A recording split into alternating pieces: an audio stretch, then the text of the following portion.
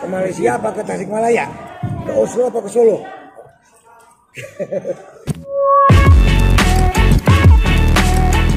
Jangan lupa like, komen, subscribe, dan nyalain lonceng notifikasi, serta share ke teman-teman kalian. Alhamdulillah sulit untuk dilukiskan dengan kata-kata. Betapa girangnya hati saya dan juga Tiara. Insya Allah. Girang nggak? Iya. Oh. Rencana ke depan setelah menikah apa apakah akan ada punya momongan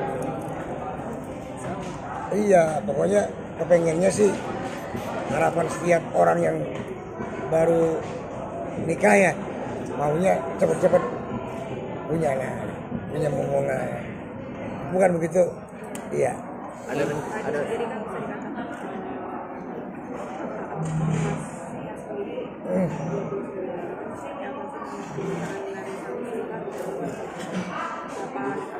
Oh, iya.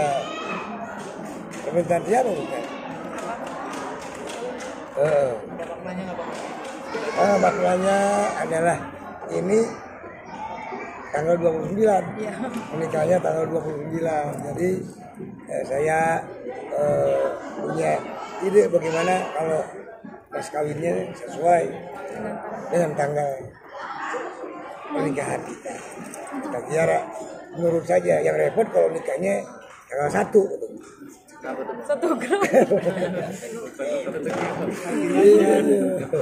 Dia cari perkenalan gimana tadi mau apa apa Awal perkenalan. Bagaimana awal perkenalan dengan Tiara? menikahi awal perkenalan di. Tempat tinggalnya Tiara. Ketika itu sedang manggung menghibur masyarakat warga Cianjur ya bapak ibu dan anak-anaknya. Setelah selesai manggung mungkin dia waduh ada Leonardo nih.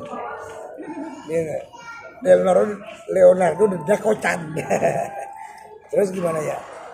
Setelah itu eh, seperti halnya yang lain ya pada ya pada minta foto kenalan dia malah minta ronsen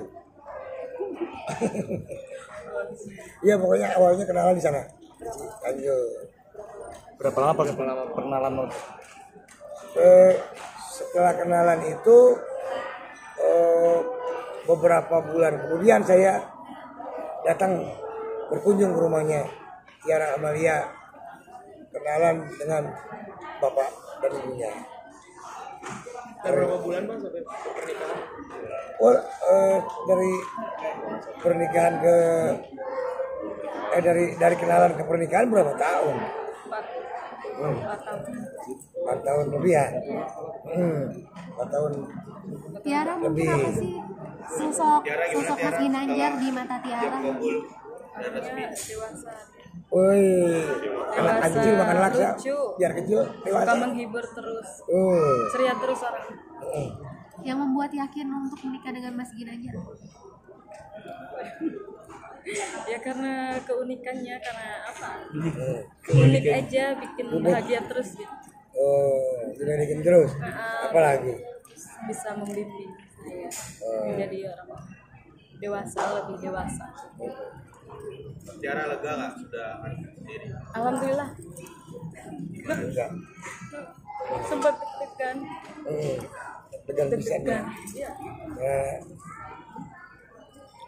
karena karena melepas masa masa Lajang ya. gadisnya.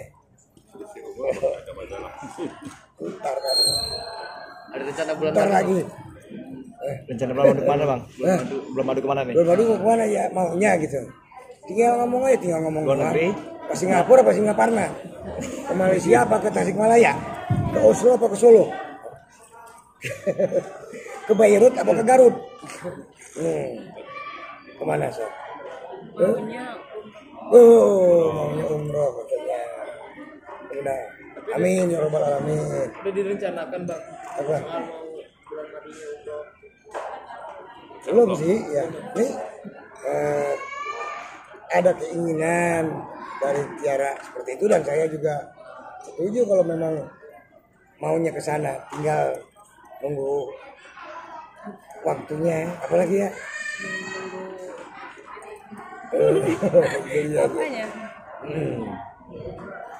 Mudah-mudahan ya insya Allah kalau begitu sehat punya eh, kewaktuannya dan ada rezekinya kita berangkat. Apa bareng-bareng nggak perginya iya. umrohnya? Iya. Apa iya dulu duluan di Mekah? Ah, susul gitu. Jangan. Oh iya itu bukan bulan madu namanya. Itu namanya bintang madu